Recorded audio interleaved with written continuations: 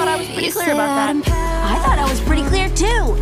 I feel like I don't want to say what about me, okay? And I don't want to be bent out of shape. I don't want to be stuck in the past. But I am responsible for me. And right now, I am not going to dump another thousand-year-old complex on you or anybody else.